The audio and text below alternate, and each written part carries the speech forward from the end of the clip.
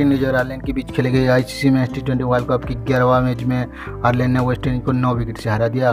पहले बल्लेबाजी करते हुए वेस्ट इंडीज का शुरुआत कुछ खास नहीं रहा और कालिस माइयो ने एक रन बनाकर जल्दी आउट हो गए। जेसन चार्लर भी चौबीस रन का योगदान दिया। मिडिल ऑर्डर में लुइस ने तेरह रन की अच्छी पारी खेली और ब्रेंडन किंग ने पूरी पारी को संभाला और बासठ रन की शानदार पारी खेली। अंत में उड़ियो सिमी ने कुछ ताबड़तोड़ शॉट खेले और उन्नीस रन का योगदान दिया और बीस ओवर में कुल वेस्टइंडीज का स्कोर पाँच विकेट नुकसान पर एक रन का स्कोर खड़ा कर दिया।